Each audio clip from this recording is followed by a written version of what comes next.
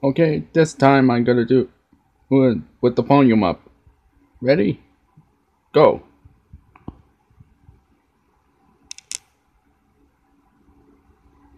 And here's another warning from the Platinum Disc Corporation.